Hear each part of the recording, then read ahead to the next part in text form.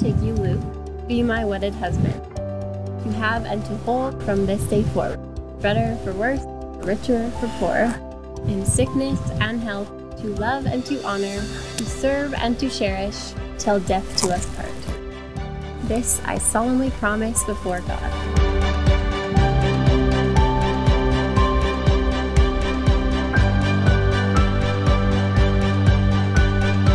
I, Luke, take you, Mckayla, be my wedded wife, to have and to hold from this day forward, for better, for worse, for richer, for poorer, in sickness and in health, to love and to honor, to serve and to cherish, till death do us part. This I solemnly promise before God.